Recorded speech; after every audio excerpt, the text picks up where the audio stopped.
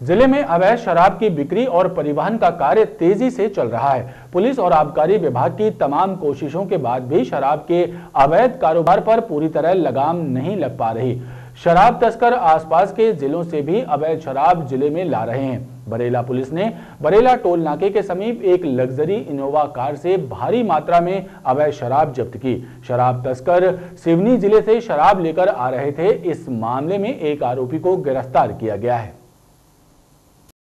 ज़िले में अवैध शराब की तस्करी और परिवहन का काम जोरों पर चल रहा है। अवैध शराब का कारोबार करने वाले लग्जरी गाड़ियों में आसपास के जिलों से शराब की तस्करी कर रहे हैं। बरेला पुलिस ने बरेला टोल नाके के पास एक लग्जरी इनोवा कार को पकड़ा, जिसमें पुलिस को पेटियों में अवैध शराब बरामद हुई। पुलिस ने कार से 19 पेटी अंग्रेज़ी शराब जब्त की, जिसकी कीमत लगभग दो लाख रुपए है।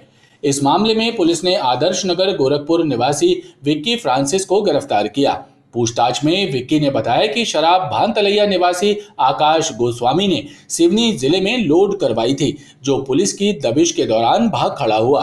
पुलिस ने दोनों के विरुद्ध प्रकरण पंजीबद्ध किया है। वहीं दूसरी ओर आबकारी विभाग ने भी कैमोरी ग्राम में दबिश देकर सात पेटी अंग्रेज़ी शराब जब्त की है। इस मामले में फरार आरोपी गुड्डा साहू के विरुद्ध प्रकरण दर्ज कर उसकी तलाश की जा रही है। जैसे ही हम उसके मकान में पहुँचे तो दुकान बंद करके गुड्डा साहू जो तो फरार हो गया कहीं। जब दुकान में उसको लेने के लिए भेजे तो वो नहीं मिला।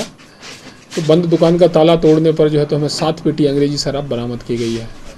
और फरार आरोपी के विरुद्ध मध्य प्रदेश आबकारी अधिनियम की धारा चौंतीस टू के तहत कार्रवाई की गई है।